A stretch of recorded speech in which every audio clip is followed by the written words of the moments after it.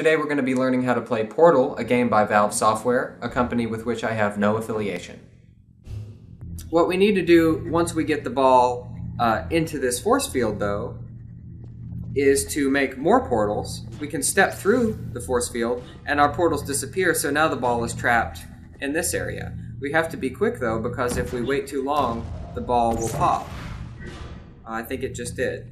But what we need to do is once we get the ball in here, we'll make an entrance on the wall and an exit on the ceiling, and that will allow the ball to come right into the receptacle. So let's set it up again. Blue and orange.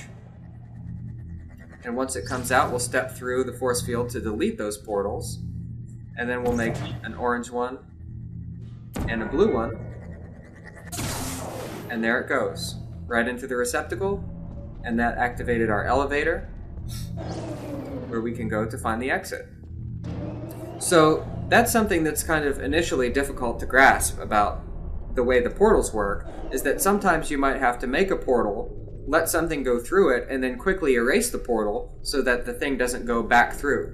You're going to have to sort of trap the ball in stages in different places uh, along the environment to get it to where you want to go.